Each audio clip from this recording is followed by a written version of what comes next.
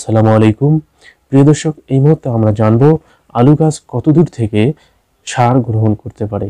মাটিতে বিভিন্ন ধরনের অত্যাবশ্যকীয় যে সারগুলো আমরা প্রয়োগ করে থাকি, কতদূর থেকে এই সারগুলো আলু গাছ সংগ্রহ করে, এটি অন্যতম একটি জানার বিষয়।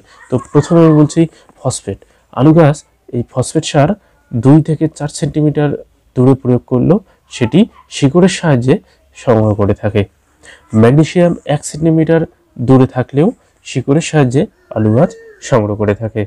পটাশ দেড় সেন্টিমিটার পর্যন্ত যদি দূরে থাকে, এই আলু গাছ শিকড়ের মাধ্যমে সেটি সংগ্রহ করে। জিপসাম এক সেন্টিমিটার দূরত্ব থাকলেও সেটি শিকড়ের সাহায্যে সংগ্রহ করে।